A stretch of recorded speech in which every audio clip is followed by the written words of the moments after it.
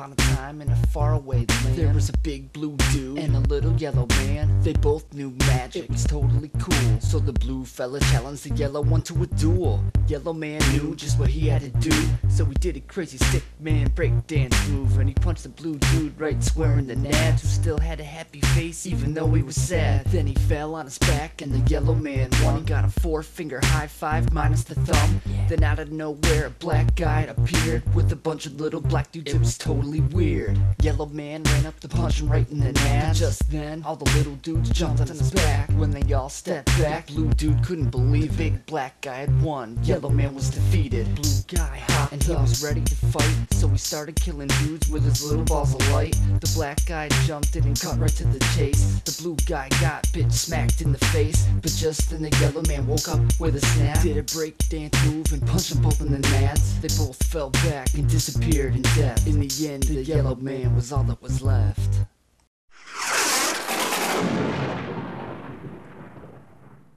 Hey, what's up? It's babble518, and this is my first video, hopefully of many, and it took about 15 minutes to film and another 2 hours to edit it all up. And voila! No!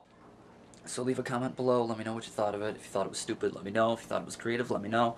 If you don't want to leave a comment, let me know. I'd also like to give a big shout out to the 50 cent gumball machines outside my work for providing all the actors for this film. Without you guys, I'd be nothing.